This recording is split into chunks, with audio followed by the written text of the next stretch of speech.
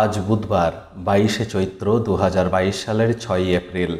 তুলারাশি, তুলালগ্ন, Libra সাইনের জাতক জাতিকাদের আজকের দিনটি কিন্তু এক কথায় বেশ কাটতে চলেছে।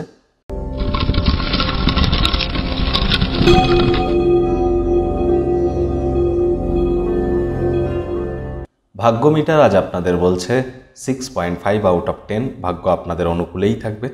দীর্ঘদিনের পুরনো কোনো রোগ, শোক, অসুস্থতা থেকে আজ মুক্তি পাওয়ার দিন, পরিত্রাণ পাওয়ার দিন।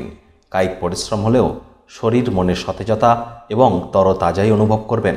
শুরুতেই বলে রাখি, সাধারণত ভিডিও শেষে বলি, যাদের চন্দ্র রাশি তুলা, এই রাশিফল তাদের অধিকাংশ ক্ষেত্রেই খাটবে, আর যাদের তুলা লগ্ন, তাদের কিন্তু আংশিক খাটতে চলেছে।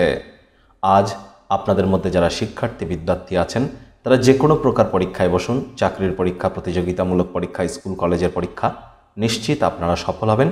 বিশেষ করে কোনো কম্পিটিশানে আজ আপনাদের জয় এক প্রকার নিশ্চিত।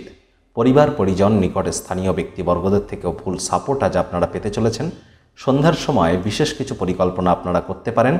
আপনার পছন্দের পছন্দের মানুষজনেদের সাথে নিজের সুখ দুঃখকে সকলের সাথেই ভাগ করে নেওয়ার চেষ্টা করুন।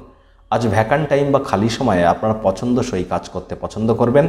মানুষজনদের থেকে দূরে সরে গিয়ে একাকীও কাটাতে পারেন। সেই সময়টিতে ব্যক্তিত্বের মূল্যায়ন করুন। বন্ধু, স্বজন, আত্মীয় পরিজনদের সাথেও সম্পর্কের মজবুতি আগের তুলনায় এখন অনেক বৃদ্ধি হতে চলেছে। তবে অর্থগতভাবে ভাগ্যদেবী কিন্তু আজ আপনার উপরে খুব একটি প্রসন্ন নন। আজ অর্থ সঞ্চয় করা খুবই কঠিন হবে। আজ বিজনেসম্যানেদের আর্থিক লেনদেন বিনিয়োগের জন্য দিনটি একদমই আপনাদের পক্ষে নেই। চাকরিজীবীদের বলব, অফিসে কিন্তু আজ আপনার সহকর্মী বা আপনার কলিগদের সাথে কোনো প্রকার সমস্যা, সম্ভাবনা কিন্তু উড়িয়ে দেওয়া যাচ্ছে না। তাই চেষ্টা করুন কম কথা বলে কাজ বেশি করার, মনের থেকে মস্তিষ্ককে বেশি দাম দেওয়ার। আজ সরিষার তেলের উপরে নিজের ছবি দেখুন। আর তারপর সেই তেলেই কোনো আটার তৈরি কোনো বল, মিষ্টি বল ভাজুন, তা পাখিদেরকে খাওয়ান, আর্থিক পরিস্থিতির উন্নতি ঘটবে। সন্ধ্যাবেলার সময় শনি মহারাজের বীজ মন্ত্র, ওম প্রাং প্রিং প্রং শানিশ্চারায় নামা, এটি একশো আটবার জপ করুন, কালো রঙের জুতো যেন পরবেন না। তাহলে আজকের দিনটি আপনাদের কিছুটা হলেও ভালো কাটবে আর্থিকভাবে।